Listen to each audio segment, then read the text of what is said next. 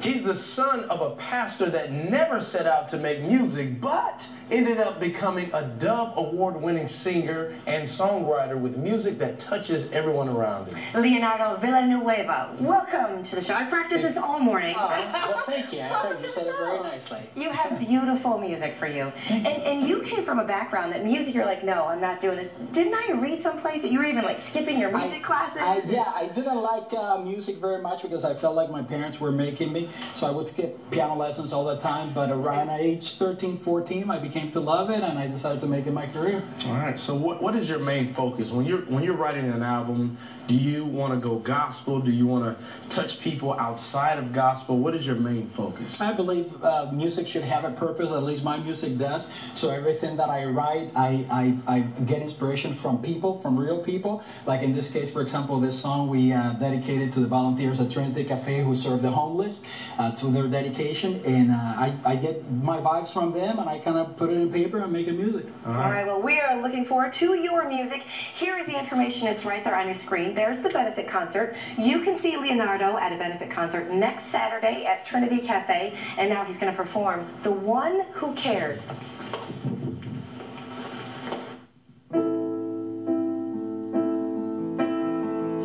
Imagine hunger in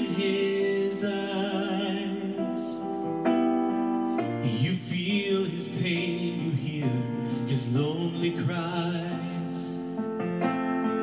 He'd settle for a piece of bread. Yet he goes hungry to his little bed.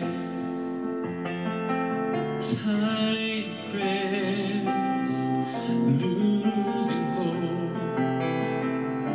But now imagine this hungry child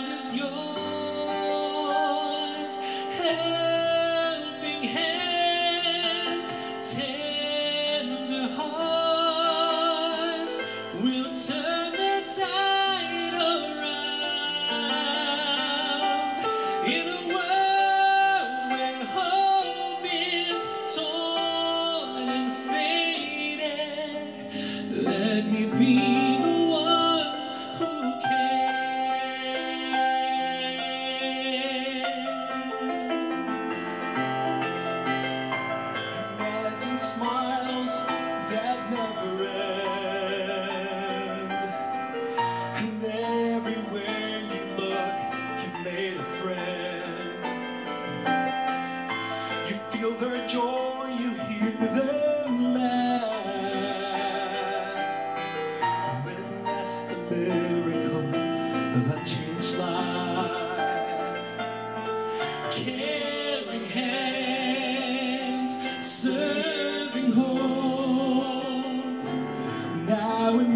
imagine those caring hands are yours.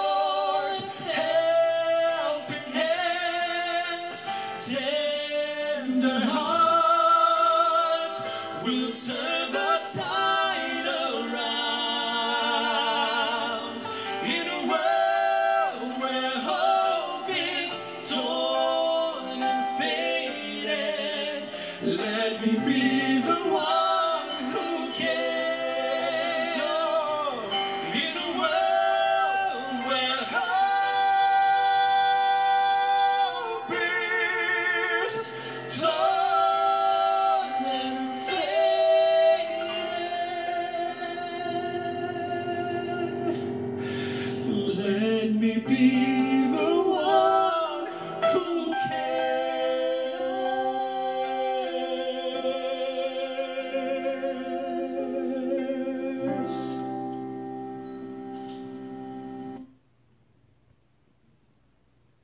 What an amazing performance from Leonardo Villanueva. I just want to say his name. Beautiful Yes, music. yeah. I love gospel music. It touches the spirit, the mind, the body, the soul, everything about you.